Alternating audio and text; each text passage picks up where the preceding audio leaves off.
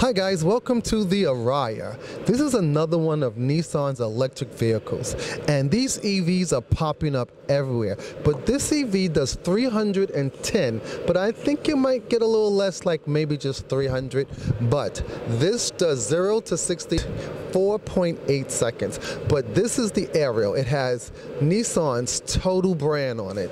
It is a really cool looking EV. And I have to say, if you want some torque in an EV, it has 389. I think it can do 400. You never know. So this is Monty Style saying, look at the new Nissan. Nissan's giving you branding